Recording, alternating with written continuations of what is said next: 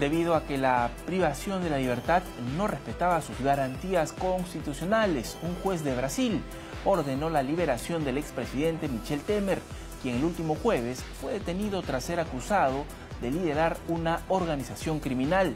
La fiscalía también lo acusa de preparar un mecanismo delictivo para desviar durante 40 años 473 millones de dólares. Temer estaba recluido en una de las celdas de la sede de la superintendencia de la policía, a donde son llevados los detenidos por casos del mega escándalo de corrupción.